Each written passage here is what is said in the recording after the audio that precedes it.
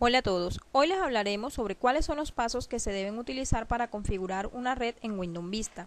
Utilizaremos un switch, cable UTP y un host para configurar nuestra red. Primero, conectamos con los cables UTP, el switch y el host para ver si estos funcionan bien.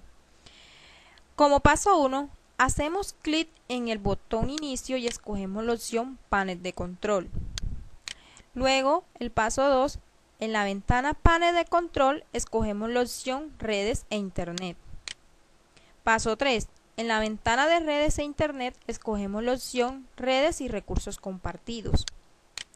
Como paso 4, en la ventana de Redes y recursos compartidos escogemos Cambiar la configuración del adaptador. Paso 5. En la ventana Conexiones de red le damos clic derecho sobre conexión de área local y escogemos la opción propiedades. Paso 6. En la ventana de propiedades de conexión de área local damos clic sobre protocolos de internet versión 4 TCP IP y escogemos la opción propiedades. Paso 7. En la ventana propiedades de protocolo de internet seleccionamos versión 4 TCP IP y damos clic en la opción usar la siguiente dirección IP.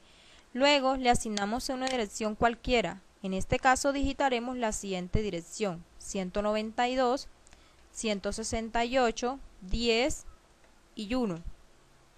Damos aceptar y vemos que automáticamente nos brinda la máscara de su red. Paso 8. En este último comprobaremos si la configuración está correcta.